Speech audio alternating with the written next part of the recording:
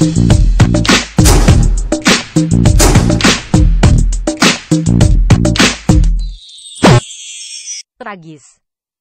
Itulah yang terjadi pada empat warga dusun kerajaan RT 01, RW 02 Desa Karangpring, Kecamatan Sukorambi, Kabupaten Jember, Jawa Timur. Mereka meninggal dunia akibat tercebur ke dalam septic tank rumahnya dengan kedalaman 3 meter. Keempat korban masih satu keluarga, yaitu Nuryani. 43. Amir alias Pak So. 51. Ahmad Hoiri. 28. Dan Imam.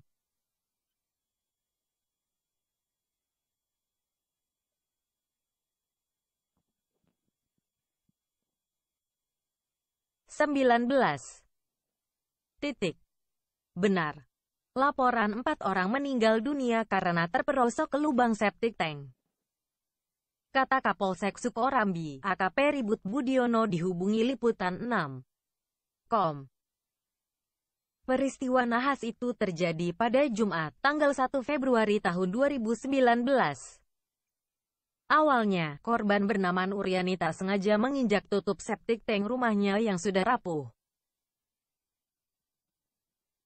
Selanjutnya, ketiga korban yang berusaha menolong malah bernasib sama. Diduga kekurangan oksigen atau terpapar gas yang bersumber dari dalam septic tank.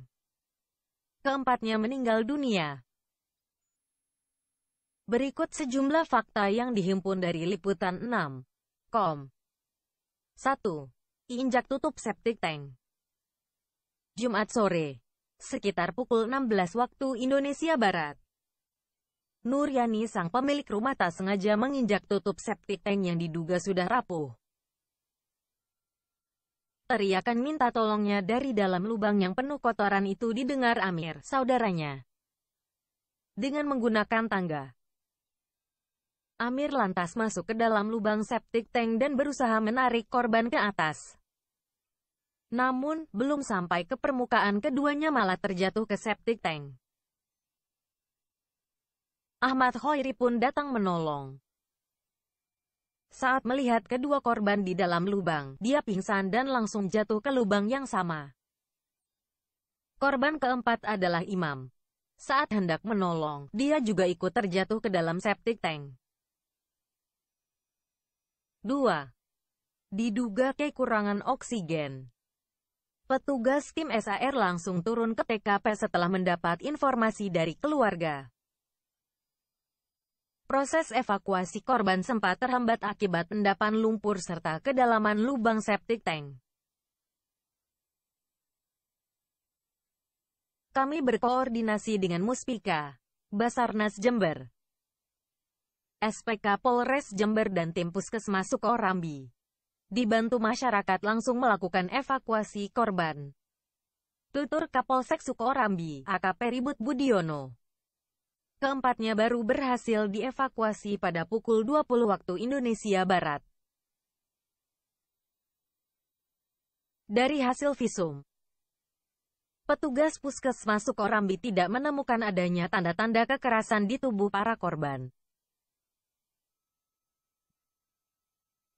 Diduga kuat keempatnya meninggal karena kekurangan oksigen atau keracunan gas yang bersumber dari dalam septic tank.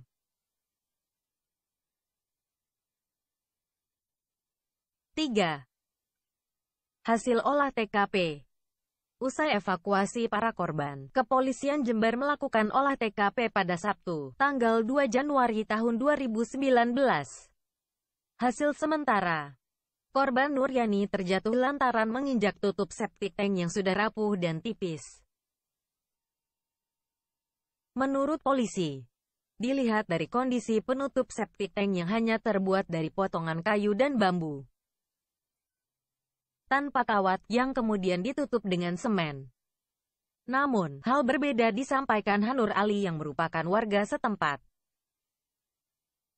Menurutnya korban jatuh terperosok gara-gara sabun mandi terjatuh di atas septic tank.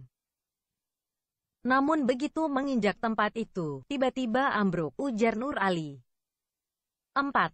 Akan ditutup permanen.